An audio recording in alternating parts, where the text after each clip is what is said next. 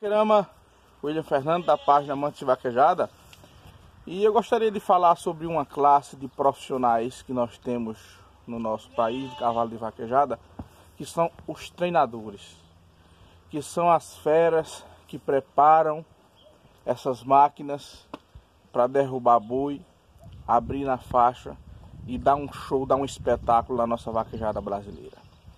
E são poucos lembrados a realidade é essa. Os treinadores de cavalo, eles só são lembrados quando é para preparar o cavalo. E eu acho que é uma classe de suma importância na vaquejada.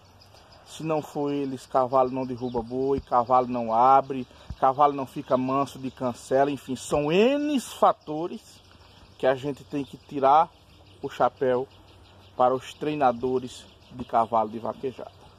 Em especial esse final de semana a gente teve dois treinadores, dois grandes treinadores que se destacaram, né?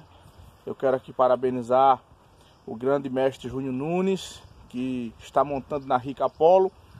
É, após três montadas na Rica, mandou ir para a corrida, a égua se classificou em segundo lugar em Agrestina.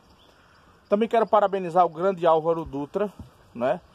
Que montou no cavalo de Diego Militão, mandou para a corrida e lá Diego Militão deu um show também na corrida. Então, eu acho que esses grandes treinadores, não só Álvaro Dutra, não só Júnior Nunes, como outros grandes treinadores, como Vigó, como Juvenal Vieira, como Dó da Amaral, enfim, como outras grandes feras que nós temos no Brasil, eu acho que a gente tem que sempre estar lembrando deles, que são eles que preparam os cavalos para dar um show na pista de competição. Então, parabéns a todos os grandes treinadores de cavalo de vaquejada deste país, em especial a meu amigo mestre Júnior Nunes, que é um ícone da vaquejada brasileira, um homem que contribuiu e contribui imensamente para o nosso esporte. William Fernando, da página Mantes de Vaquejada, a página mais ousada do Brasil.